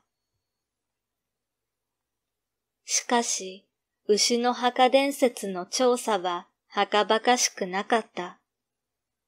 A は図書館で地方版の新聞を読み漁り、かつての卒業生を訪ねたり、大学の図書館にまで入り浸って、様々な資料を飽きることなく調べていた。私も何度か A の調査に付き合ったが、彼の熱の入れようはどこか異常とも言えた。いや、おそらく A は、その時すでに何かに取り憑かれていたのかもしれなかった。そして夏休みがやってきた。A は予備校の夏季講習の傍ら、まだ色々と郷土史を調べたりと、相変わらず牛の墓について飽きずに調査していた。私は A とは違う塾に通っていたのだが、夏休みの少し前から塾で同じ教科をとっていた同じ学校の女の子と仲良くなったりしていたため、不純な目的ながら塾通いに熱心になり、調査へのモチベーションは落ちかけていた。8月の上旬頃、私や A が所属していた部活の夏季合宿があった。合宿といっても、要は部活動の後で部員が学校内の宿泊室に泊まり込むだけなのだが、その夜、しばらくぶりに A と会って、その後の調査具合を聞くと、60年代から70年代あたりにかけて、生徒が死んだ事件があったのは事実らしい。だけど、その事件とは別に、もう一つ公表されなかった事件が過去に存在するという話をある古い卒業生に聞いてきた。どうもこっちの話こそ牛の墓事件の隠された真実があるように思う。そのことを知ってる人を今探している。そういった話を A はしていた。その後、お決まりではあるが、深夜にかけて部員たち数人で怪談話をしていたのだが、ある女子部員がこっくりさんをやろうと言い出した。A が名乗りを上げ、言い出した女子部員と十円玉に指を乗せる。私はオカルト好きだが、小心者なので、他の数人の部員たちとそれを眺めていた。しばらくすると、室内の空気が妙にじめっというか、じとっとした粘り気のある重苦しいものになりつつあるのを感じた。霊感のない私ですら、あ、こりゃまずいかも、と思ったとき、こっくりさんをしていた女子部員と A の指先にある十円玉が不規則に、そしてめったやたらに動き始めた。やだ、なにこれ？取り巻いていた私や他の部員の顔色は悪いが、ランダムに動いて止められない十円玉に指を乗せていた二人の顔は、青いのを通り越して白かった。部屋の隅っこに誰か知らない人が立っているような気がする。でも体が震えてそちらを見る度胸もなかった。別の女子部員が泣き出した。お前ら何やってるんだ突然大声がしたかと思うと、前の部長であり、昨年卒業した OB の先輩が部屋に飛び込んできた。先輩は女子部員と A の頬に平手打ちをすると、十円玉をわしづかみにして網戸を開け、外へ全力で投げ捨てた。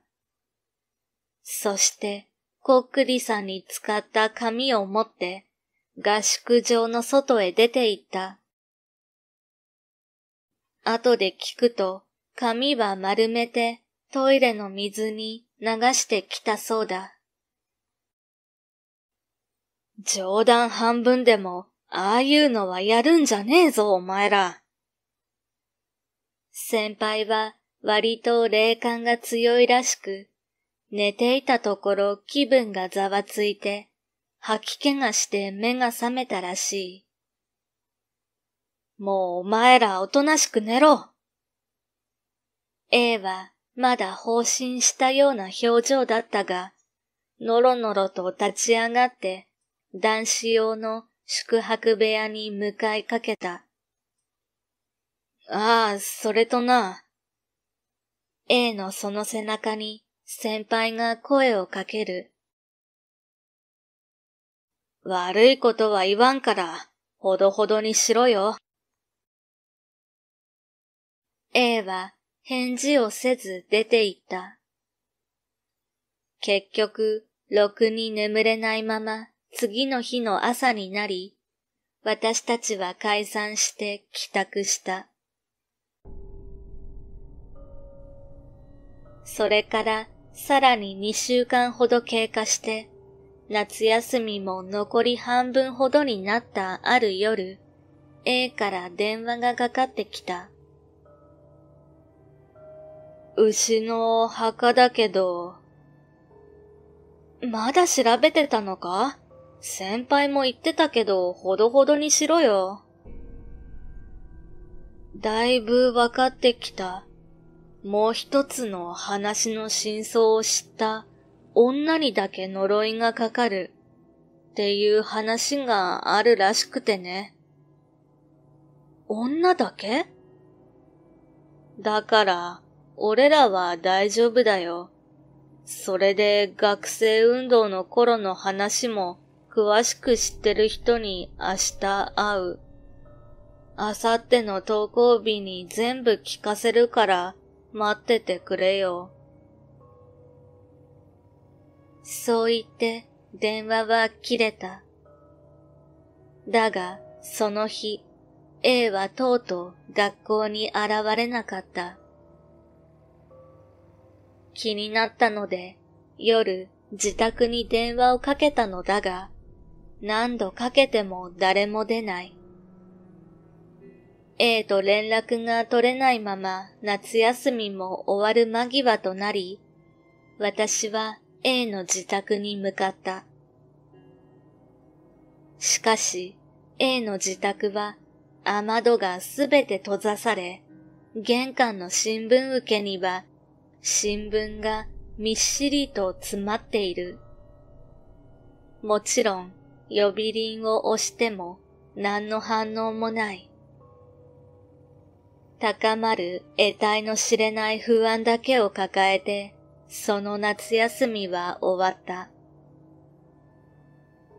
二学期になっても A の姿は学校にはないままだった。A には年子で妹が一年生にいたので、一年の知り合いに尋ねても、妹も学校には来てないとのことだった。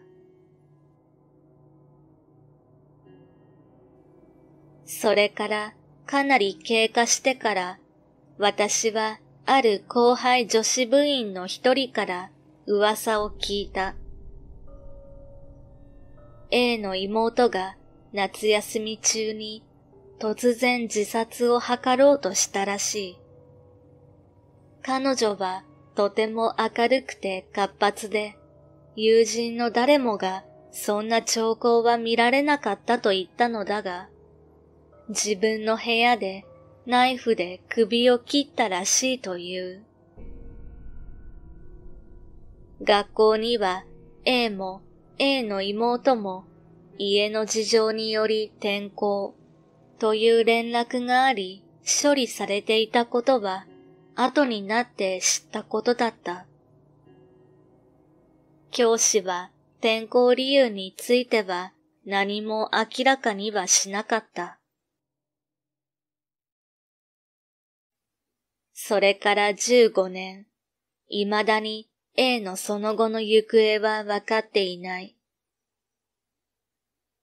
結局、私は A から牛の墓事件の真相を聞くことはできなかった。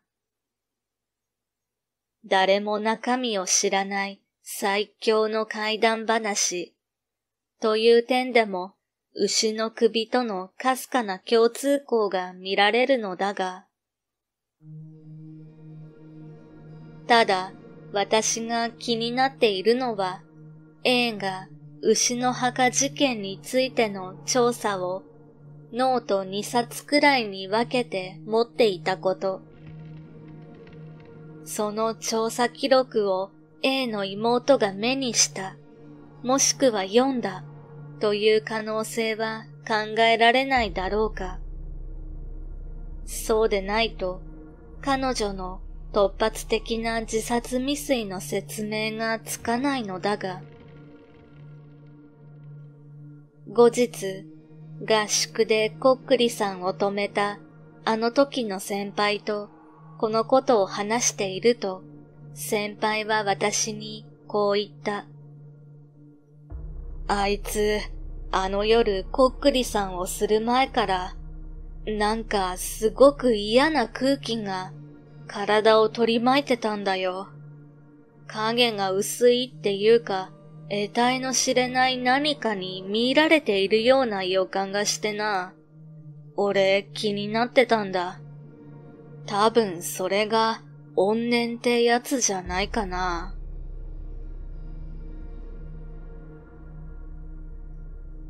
ちなみに、その学校に牛の墓という話が伝わっている。そのこと自体は割と知られている話らしく、先日、取引先との飲み会で50代前半のお得意様が酒の席で歓談中。君はあの高校の出身なのか昔あの学校には牛の墓って話が伝わってたらしいけど、君ぐらいの年齢だと知らないだろうね。と、懐かしそうに語っていた。A 君、かつてオカルトがとても好きだった君が、もしもこれを耳にすることがあれば、一度連絡ください。また、もし君がまだあの調査記録ノートを持っていたなら、一刻も早く焼き捨ててくれることを願います。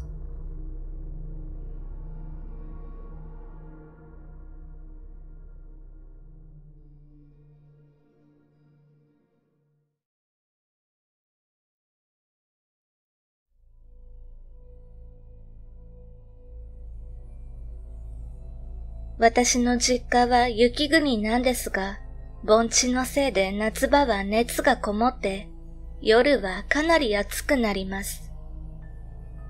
田舎でネットやゲームもない環境なので、私は退屈していました。時間は夜の10時を少し回った頃です。家の周りが水田ということもあり、開けた窓からはカエルの声がうるさいくらい飛び込んできます。熱気を帯びた空気がまとわりついて何とも不快でした。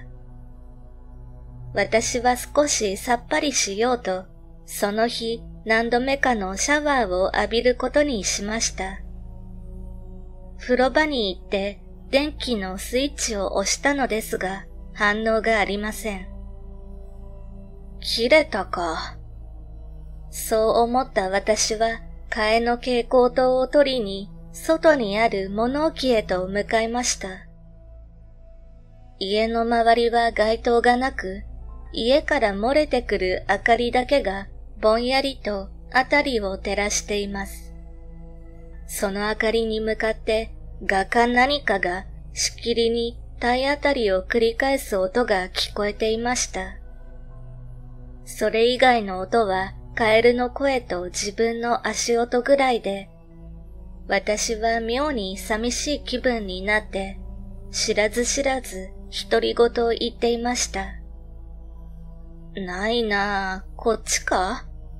これは、と違うしな。うわ、これ中学の時のエロ本だ。こんなとこに隠してたのか。その他にもいろいろ懐かしいものが出てきて、当初の目的を忘れて、私は物置を物色していました。物置の小さな裸電球の下で、あれこれ探っているうち、古びた木箱を見つけました。それは相当奥まった場所に置いてあったため、厚い埃をかぶって蜘蛛の巣まみれでした。大きさはだいたい一辺が30センチぐらいでした。蓋の部分を少し横にずらしてから開けるように細工がしてありました。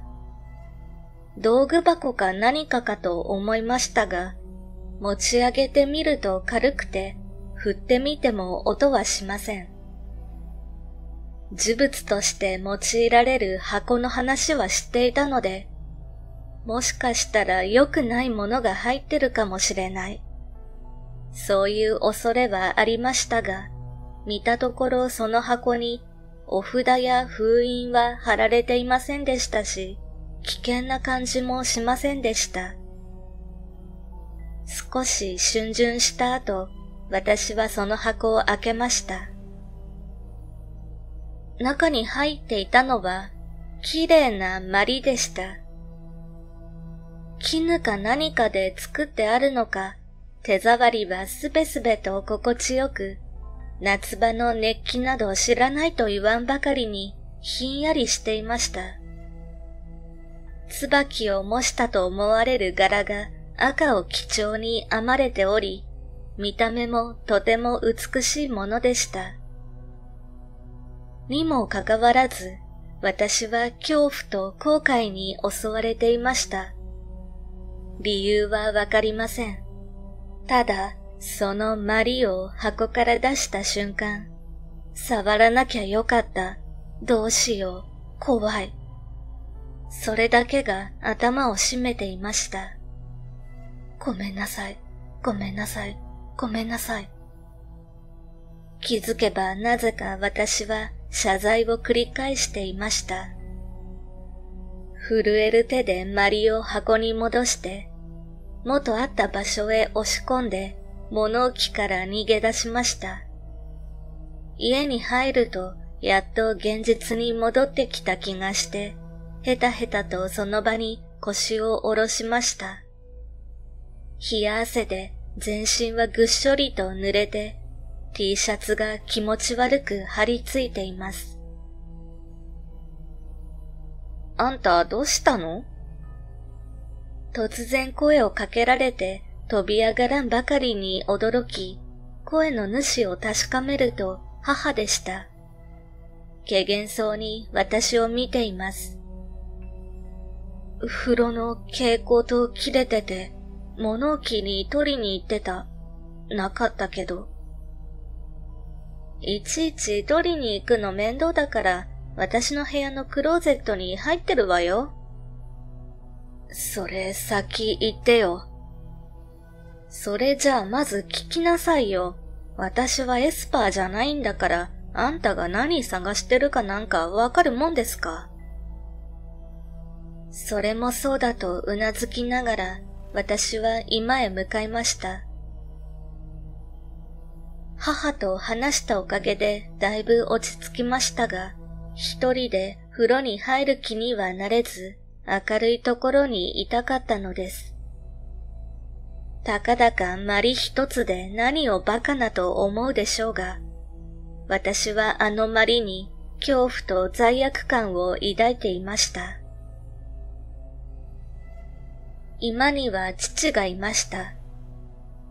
いつものように晩酌をしながら笑いもしないでバラエティ番組を見ていました。ちっとも楽しそうには見えませんが、本人曰く楽しんでいるそうです。私は父の横へ投げやりに腰を下ろして一つ息を吐きました。もらうね。父に一声かけ、酒とおつまみに手を伸ばしました。あまり欲しくもなかったのですが、何かしていなければ落ち着かなかったのです。ポリポリとおつまみを食べながら酒を継ごうととっくりに手を伸ばしたとき、父が私をじっと見ていることに気がつきました。バラエティ番組を見ている時と同じ無表情で。えっと、食べちゃダメだった？無言のプレッシャーに負けて私は尋ねました。触ったのか？父は私の質問には答えず聞いてきました。あのマリのことだとすぐわかりました。なぜ父が頭が混乱して私は何も言えませんでした。触ったのか？もう一度同じ質問をされて、私は力なくうなずきました。罪悪感や恐怖、後悔、いろいろな感情がごちゃ混ぜになって涙が溢れそうでした。そうか。父は短くそう言ってくいっと酒を煽りました。そして、ふぅ、と強く息を吐いて話してくれました。あのマリはな、俺のおばあさん、つまりお前のひいばあさんのものだ。どういうものであるかは俺も知らない。ある時ひいばあさんが山に行って、数日戻ってこなかったことがあったそうだ。探しても見つからず、諦めかけた頃、ふらっとあのマリを持って帰ってきたそうだ。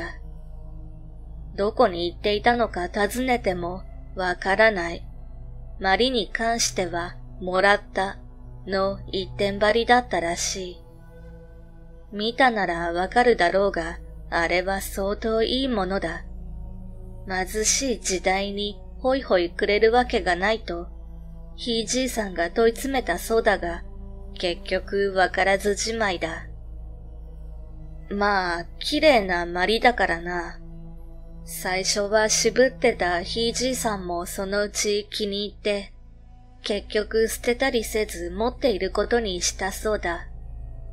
家族には娘もいたんだが、ひいばあさんは決してそのマリを遊びには使わせず、大切に奥の男の間に飾っていたらしい。でも、奥の間でマリをつく音がするだとか、マリで遊ぶ子供の姿を見たとか、良くない話が出てきてな。ひいじいさんが厳重に封して蔵にしまったそうだ。マリを持ってきてからひいばあさんが体調を崩して伏せったって話もあるから、気味が悪かったんだろうな。マリをしまってからしばらくしてひいばあさんが亡くなった。その後も悪いことが立て続けに起こって、あっという間に家は没落したらしい。まあ、もともと傾きかけていて、一時は持ち直したそうだが、それも力及ばず、今となっては一般家庭だ。ただ、ひいじいさんの言いつけを守って、あのマリは代々長男が管理しているんだ。私は父が語る話を黙って聞いていました。カエルの声もまた流れ出した汗も気になりませんでした。父は話を続けます。おじいさんがそれを受け継いだとき、姉さん、つまりおばさんがあのマリを見つけて触ったらしい。その時も今のお前と同じように怯えて、怒られた、ごめんなさい。って上ごとみたいに泣きながら繰り返してたよ。どうやら長男以外の人間が触るとマリが怒るらしいな。結局おばさんも数日後にはケロッとしてたからお前も大丈夫だ。安心しろ。そう言って父はやっとニコッと笑いました。その笑顔を見て私は詰まっていた息をようやく吐き出すことができて、緊張で固まった体をゆるゆるとほぐしました。結局、マリについてはそれ以上聞けないまま、その日は就寝しました。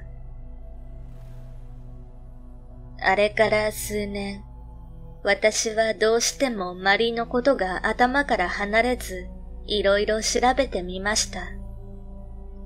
呪物に関することをはじめとして、民話や伝説まで、調べを進めていくうち、きっとこういうことかなという仮説が出来上がって、去年の帰省の時、確かめる意味を込めて父に言いました。何気なく注意しなければわからないような小さい声で、迷いが、この一言だけです。父はにやりと笑って同じように一言私に返しました。わらし様。どうやら父は私と同じようにマリについて調べ、私と同じ結論に行き着いたようです。迷いが、山の中、こんなところになぜっていうほど違和感バリバリのお屋敷に行き当たること。